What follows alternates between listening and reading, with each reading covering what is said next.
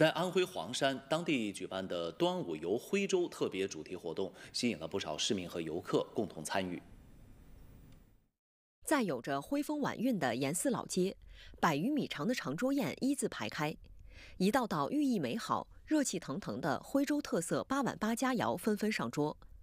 一百五十余名严寺镇六十五岁以上老人围桌而坐，品美食、唠家常，大家在浓浓的节日氛围中互送安康，共叙邻里和睦情。对我们大家一起过个节啊，增加邻里的感情。夜幕降临，省级非遗项目跳钟馗在老街的古戏台上演。大家在热闹的氛围中，感受到浓浓的徽州传统文化。在徽州这边过端午节，其实感觉还挺有意思的，特别像就是跳钟馗这种徽州民俗表演嘛，我也是第一次看到。